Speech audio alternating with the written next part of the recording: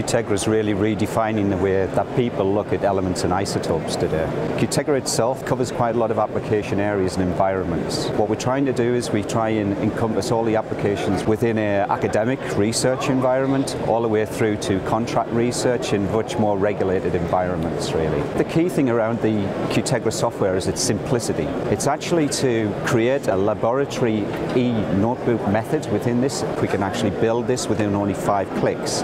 From the moment that we want to start the analysis of the sample through to actually reporting is only one single click of the software to actually instigate that analysis.